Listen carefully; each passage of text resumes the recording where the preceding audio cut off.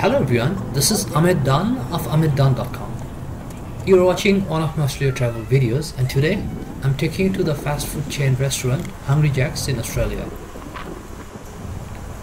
When I first saw Hungry Jack's in Australia, it struck me because of its similarities with Burger King. Later on I found out that Hungry Jack's is indeed Burger King in Australia. Burger King could not trademark its name because it was already taken, so it went with the name Hungry Jack's. The Whopper tasted the same at Hungry Jack's in Australia as it does in Canada or in the US.